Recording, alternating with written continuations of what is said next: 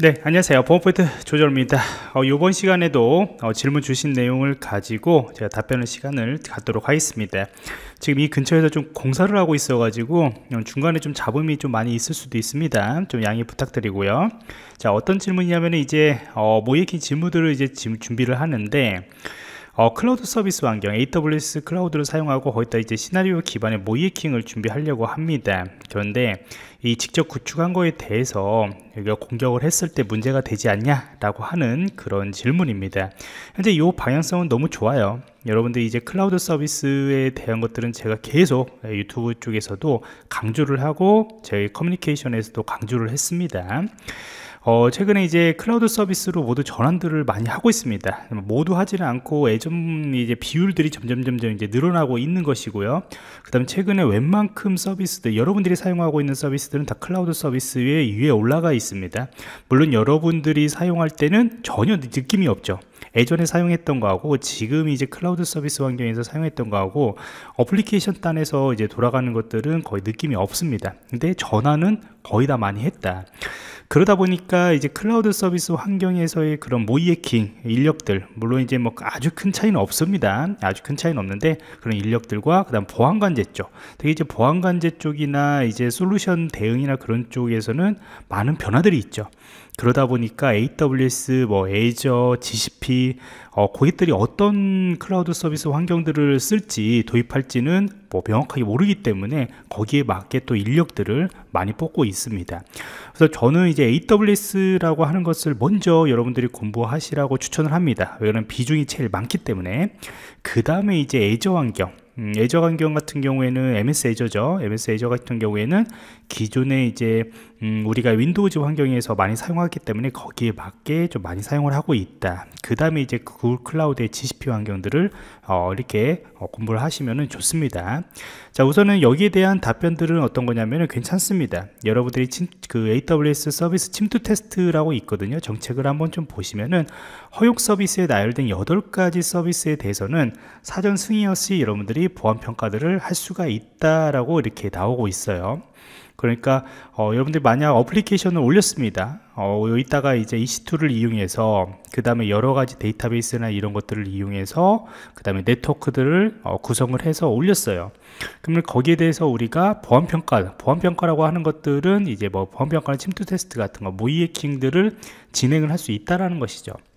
그러니까 이 어플리케이션의 대상으로는 우리가 어, 스캔을 하던 뭐를 하던 예, 상관은 없습니다. 그 다음에 취약점을 여러분들이 찾아내시면 되는 거죠. 어차피 요 자체 취약점에 대해서는 뒤에서 설명하는 그런 bug hunting과 관련된 부분들이 좀 있고요. 그 다음에 이제 여러분들이 위에 올라가 있는 어플리케이션에 대해서는 별로 뭐 큰 차이가 없거든요 사실요. 예, 그래서 도메인 대상으로 여러분들이 할당이 받았거나 아니면 IP를 public 쪽으로 할당을 받았거나 이렇게 했을 때 아니면 내부적으로 여러분들이 뭐 주요정보통신 기반 시설 기준으로 뭔가 테스트를 한다거나 여러 가지 했을 때는 어, 여러분들이 사전 승인이 필요 없다. 그러니까 공부할 때도 최대한 요 환경으로 구성을 해서 저는 공부를 하라고 이야기를 합니다 왜 그러냐면 여러분들이 원하는 그런 시나리오 모의해킹까지 해서 내부 서버 그 다음에 외부 서버 이런 것들을 구성을 해 가지고 할 때도 이 노트북 사양들이 상당히 커야 되거든요. 예, 높아야 합니다. 그래서 여러분들이 클라우드 서비스를 많이 사용하시면은 비용적인 부분들은 분명히 부담이 되지만은 어, 충분히 공부하는 데는 좋다. 근데 이제 금지 활동이라고 있습니다. 이 금지 활동이라고 하는 것들은 이제 아마존 자체 뭐 라우터 같은 거나 그 라우터 어, 형태 같은 경우나 아니면 DNS와 관련된 부분들 이런 거에 대해 대상으로 완전히 공격을 하면 안 된다 음, 그리고 서비스 거부 공격, 디도스 공격이나 그런 것들에 대해서는 진행을 하면 안 된다라고 이야기를 나옵니다. 요거는 이제 어떤 그런 bug hunting 프로그램을 진행하는 어떤 사이트든 다 동일합니다. 요 부분 같은 경우 그러니까 어, 우리가 이제 고객사 어플리케이션 단에서 된 것들은 괜찮다. 음, 하지만은 그것을 아마존에서 운영하고 있는 앞에서 되 중요한 부분 이런 거의 장비에 대해서 특히 이제 디도스 공격이나 그런 것들을 하면 안 된다라고 이렇게 나오고 있습니다. 자, 그 다음에 요거 이외에 여러분들한테 또 이야기하고 싶은 것들은 이 AWS에 이제 bug hunting 정, 그 bug hunting이 있어요. 여러분들 어떻게 찾으시면 되는데 AWS bug bounty라고 검색을 하시면 됩니다. 그러면은 여기 보시면은 어, 나와 있습니다. 그 프로그램에서 잘 나와 있고요. HackerOne이라고 하는 사이트는 이제 bug hunting 프로그램에 여러분들이 참여할 때 많이 사용하고 있는 플랫폼이죠. 그래서 이쪽에 보면은 AWS에서 어떤 것들을 허용을 하고 있고 또 어, 우리가 bug hunting에 참여했을 때 얼마만큼의 포상을 하고 있는 지에 대해서도 이제 나와 있어요. 그래서 여기 보시면 이제 critical, high, medium, low라고 해서 각각에 대해서 비용들을 정하고 있죠. 그러니까 최고에는 2만 달러까지 우리나라 돈으로 보면 지금 환율을 찾아보시면은 약한 한 2,500만 원에서 그 정도 정도 되죠. 그래서 이 정도를 여러분들한테 제공을 해준답니다. 근데 이것을 받을 어려면 엄청난 예, 능력들이 필요하고 많은 운들이 또 들어와야 하는 것이고 운들이 있어야 하는 것이고요. 이 아래쪽에 보시면은 이제 음, 아마존 쪽에서 이제 VRP, VRP는 이제 취약점 리서치 프로그램이라고 하는 그런 프로그램을 이제 어, 진행을 하고 있다. 그래서 여러분들이 취약점을 찾으면은 이쪽에다가 제공을 해주면은 우리가 평가를 해서 거기에 대해서 포상을 해주겠다라고 나와 있고요.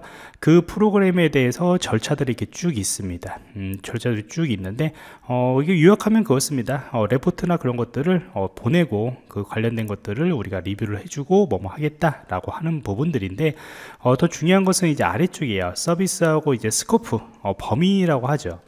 어, bug hunting 프로그램 할 때는 제일 중요한 게 이 범위입니다. 이 범위 이외에 여러분들이 진행을 한다라고 했을 때는 두 가지예요. 하나는 뭐 취약점을 찾아내도 평가를 받을 수가 없다라는 것이고요. 두 번째는 악용, 악용으로 사용한다고 생각을 해서 오히려 예, 신고를 당할 수가 있다.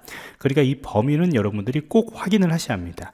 뭐 네이버나 그런 데도 똑같이 다 있어요. 네이버 같은 경우에는 bug bounty 프로그램을 진행한다고 해서 여러분들이 막 거기다가 직원들 대상으로 악성 코드를 이렇게 뿌린다거나 그러면 오히려 신고당하죠.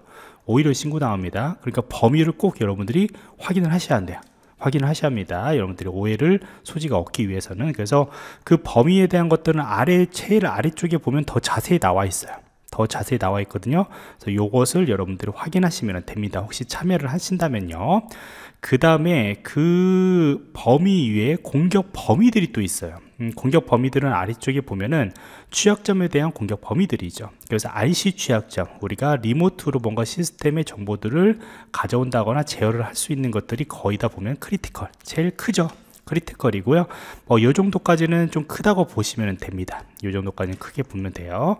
그래서 여러분들 웹해킹을 공부하셨다면은 이제 이렇게 이런 취약점들이 어떤 것인가 아시겠죠? 그래서 cross-site script 취약점 같은 경우도 stored 우리가 데이터베이스에 직접적으로 입력되는 그런 스크립트 형태 그 다음에 SQL injection XML과 관련된 부분들 RCE 취약점들이 있고요 요즘은 이제 SSRF라고 해서 server side request forgery라고 하는 부분들 취약점들이 상당히 좀 많이 나와 있어요 상당히 많이 나와 있고요 나머지는 보안 설정 이나 그런 부분들 인증 처리 비밀이나 그런 것들이 쭉 나와 있다.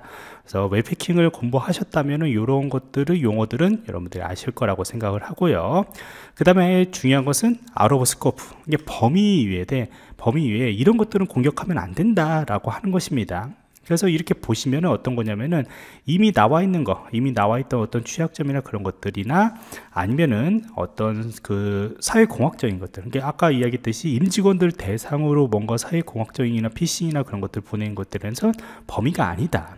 예, 범위가 아닌 거고 물리적인 해킹 같은 거 특히 뭐 가서 전산실 같은 경우를 뭐 이렇게 침투를 하려고 하는 것들도 아니다 뭐 이런 것들 이런 형태들이고요.